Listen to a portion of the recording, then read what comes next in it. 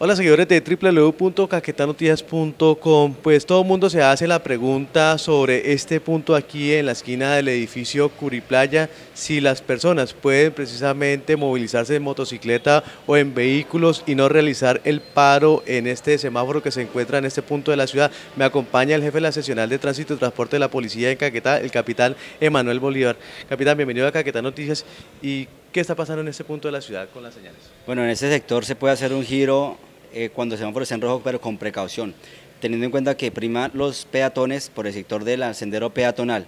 Es decir, que si usted llega a esta intersección, está el semáforo en rojo, pero usted observa los lados que no hay ningún peatón, puede girar a la derecha con mucha precaución.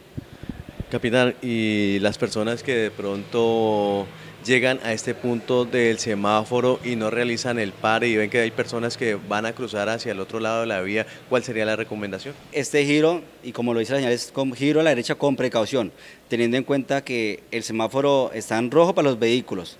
Usted puede girar, pero está en verde para los peatones, entonces prima los peatones en este momento que es el único paso sendero peatonal para esas personas. Entonces es la invitación para estos actores viales que cuando el semáforo esté en rojo, pues verificar que no tenga ningún peatón, para poderlo girar y de esa manera evitar un siniestro vial en ese punto.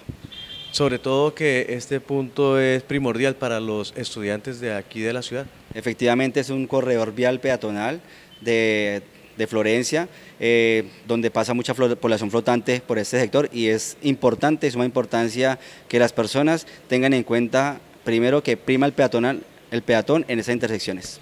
Es que hay motociclistas y también conductores de vehículos, capitán, que mira esta señalización y dice girar con precaución a la derecha, pero resulta que hay veces eh, andan rápido y no se percatan de que hay un peatón que de pronto va a cruzar la vía. Para, para el conductor de motocicleta o vehículo está en rojo y él ve la, la señal que puede girar, pero para la persona que va a cruzar la calle está en verde. Entonces muchas veces, como se ha notado, las personas tienen que devolverse. ¿Por qué? Porque el conductor no observa que es con precaución y en cierta manera puede generar un siniestro vial.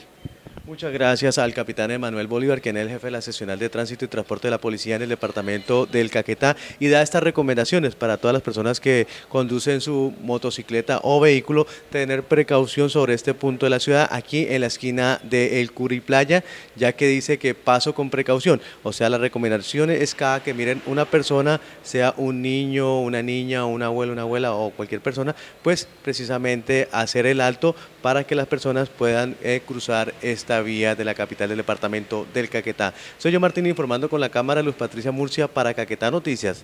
Noticias destacadas y no olvidar me gusta para que informar todo lo que pasa en esta zona al sur del país. Hoy, masitas y amigos de Florencia en el Caquetá, soy Tato de Felices y queremos invitarlos a nuestro sensacional show el próximo 6 de abril de 2019 a las 7 de la noche en el Centro Empresarial de la Cámara de Comercio. Vengan con nosotros y disfruten de todas mis locuras. Organiza Cámara de Comercio de Florencia para el Caquetá. La venta de boletas en el 310-777-5089. ¡Allá nos vemos! ¡Oye!